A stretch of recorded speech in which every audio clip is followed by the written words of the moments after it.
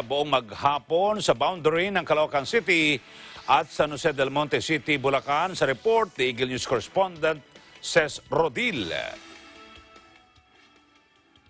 Nasagawang enhanced community quarantine ay naging banayad pa ang daloy ng trapiko dito sa boundary ng Caloocan City at San Jose del Monte City, Bulacan.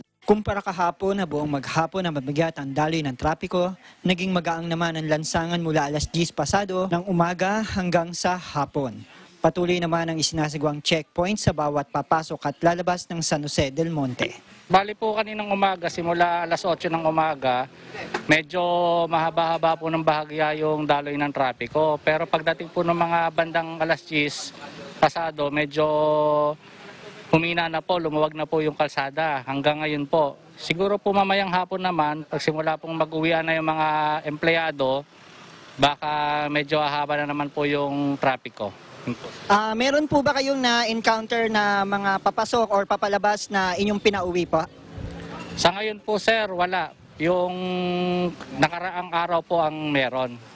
Pero meron po kanina mga pumupunta dito na mga sasakyan na sa sobrang haba po nung traffic paluwas po ng SJDM, eh bumalik na lang po sila. Hindi na po sila tumuloy. Mula rito sa San Jose del Monte City, Bulacan, para sa Eagle News, says Rudil, we live in interesting times.